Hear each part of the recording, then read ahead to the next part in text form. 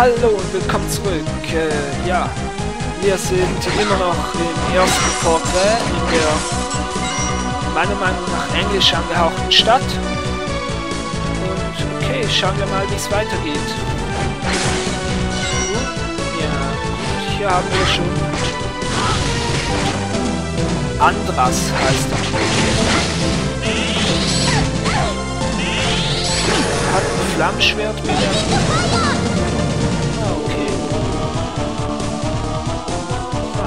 alles geschrumpft. Mit meinem Leben nicht mehr ganz so gut aus. Da, da können wir aber auch Hilfe schaffen.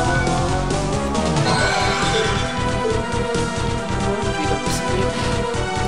Äh, was wollte ich noch? Ja genau, jetzt wollte ich hier mal noch zeigen. Äh, nicht einfach Status. Zeigen wir es halt bei Rüstung. Wir haben hier den Angr einen Angriffswert, einen Defensivwert, einen STK-Wert. STK. Stärke vielleicht. Konstitution, also das, davon gehe ich aus, dass das Leben sind. Intelligenz, Magieschaden oder Spezialwaffenschaden. Glück, GST ist, glaube ich, Magieabwehr. Glück ist, äh, wir mit seltenen Items beschenkt werden. Wie viele Male. Und dann noch das andere, was ich zeigen wollte, ist noch das Reden, was man hier natürlich auch kann. Wenn man schon mit zwei Leuten unterwegs ist, sollte man auch, auch mit ihnen reden können. Wenn du wegen etwas besorgt bist, sollten wir miteinander reden. Ich komme gut allein zurecht. Das ist mir auch lieber so. Tun, tun wir einfach unser Bestes. Ja. Ich glaube, da kommen dann später auch noch andere Dialoge. Vielleicht schauen wir ab und zu mal wieder rein. Und schauen, was sie uns zu sagen haben. Einen weißen Strauß. Hört sich eher nach etwas für Charlotte an.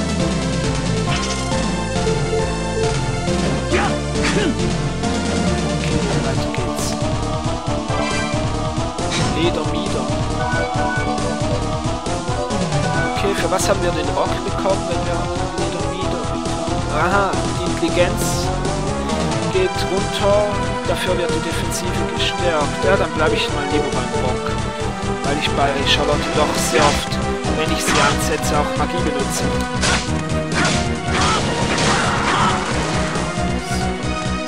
Ja, ist einer mehr besiegt.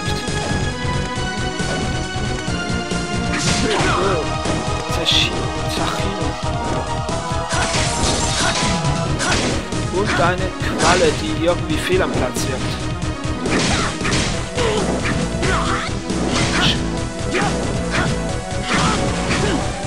Ja, äh, wenn der Partner, wenn der Partner, glaube ich, erwischt wird, dann raubt das uns Magie und wenn die Magie leer ist, dann verschwindet der Partner. So.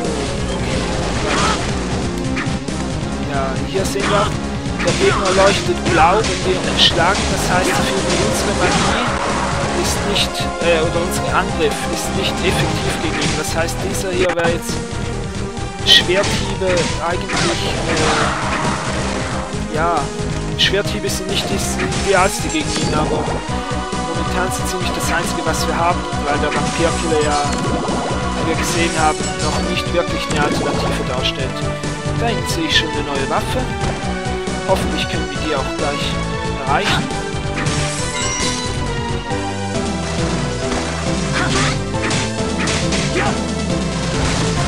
Axtritt. Von den Axtritt, das ist, wie gesagt, mit Glück bekommt man ja teilweise Gegenstände und auch Magie vom Gegner. Ich glaube, von den Axtritt kann man äh, die Sekundärwaffe Axt bekommen.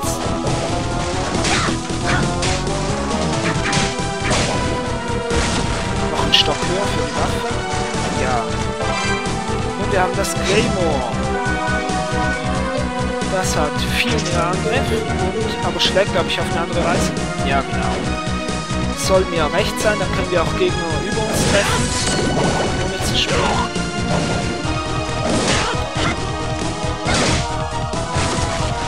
Und haben natürlich auch eine größere Reichweite und einen größeren Schaden. Dann haben wir hier Sandalen gefunden. Ja, wir sehen schon, wir werden immer wieder mal Startmenü aufrufen müssen. Kleine Wichte. Und? Toni kann erhalten. Das ist doch auch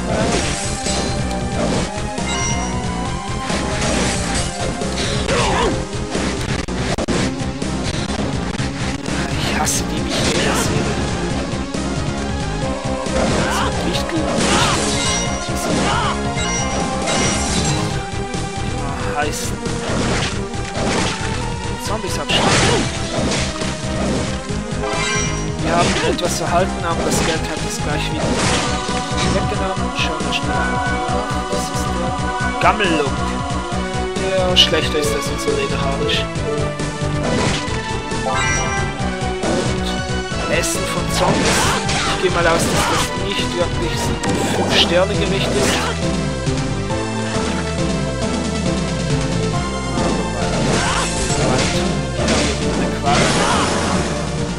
Und Level Up. Schade, dass beim Level Up nicht die Leben wieder aufgefrischt werden.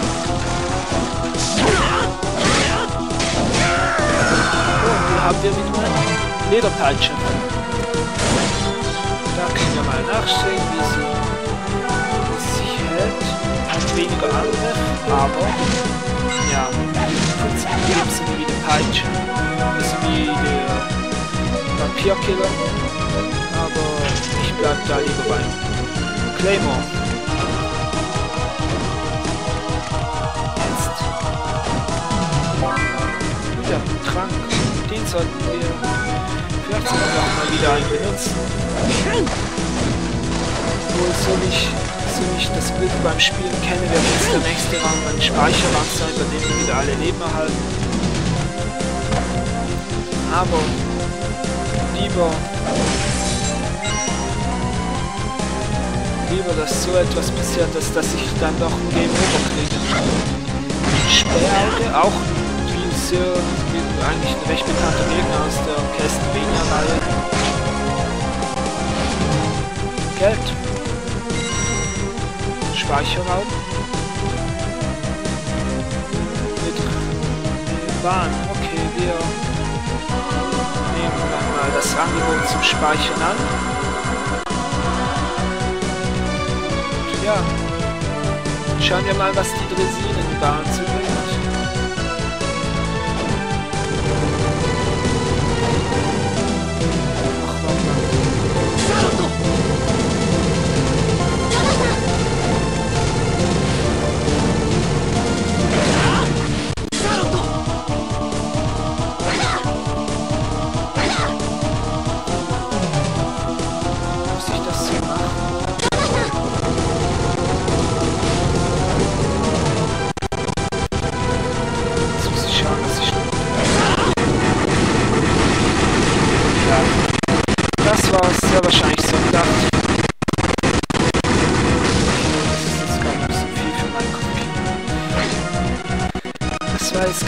bisschen viel. Äh, Okay, jetzt spackt er einfach mal aus Spaß ab.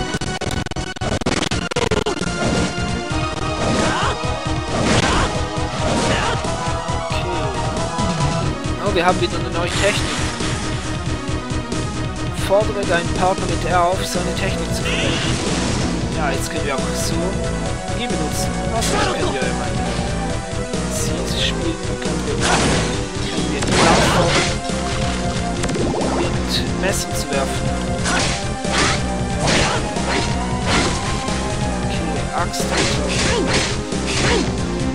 Die weniger Bedrohung da, weil die Axt sowieso abgeblockt wird.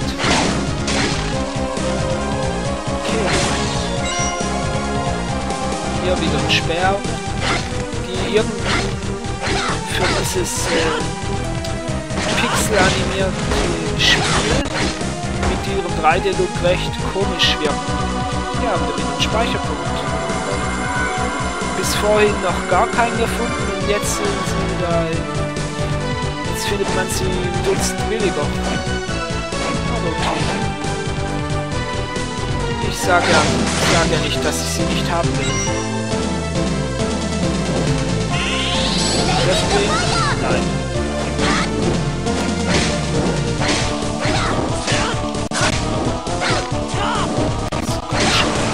Okay, Kralle tot. Was ja auch immer hier zu verloren haben.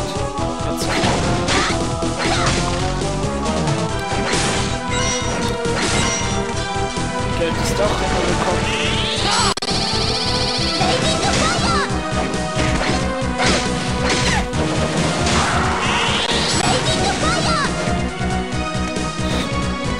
Oh, wir haben wieder was Hupelande.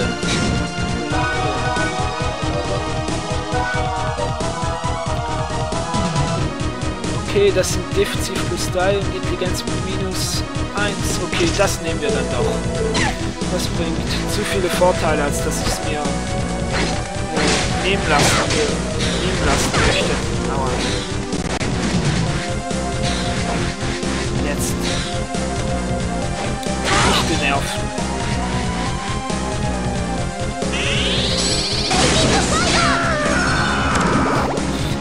So können wir einen Kavaliere auslöschen. Aber okay. Das hier eine Mumie? Auf jeden Fall sieht sie ein bisschen nach einem Thronsaal aus.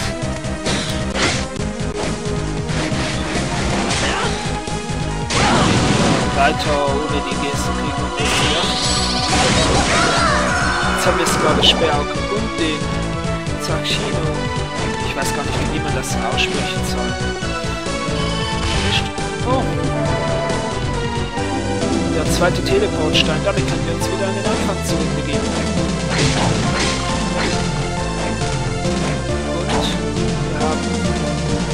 Speicherpunkt. Das. Gut, ja, ich würde sagen, wenn bei Castlevania so Speicherpunkt und Teleportpunkt aufeinander folgen, wird danach etwas passieren. Da ich jetzt aber nicht mehr genug Zeit habe, um mich mit etwas mit einem vielleicht größeren Event auseinanderzusetzen, werde ich jetzt hier die Aufnahme beenden. Wir sehen uns beim nächsten Mal, wenn es heißt Let's Play Castlevania Portrait of Ruin, hier Leviathan 2. Bis zum nächsten Mal.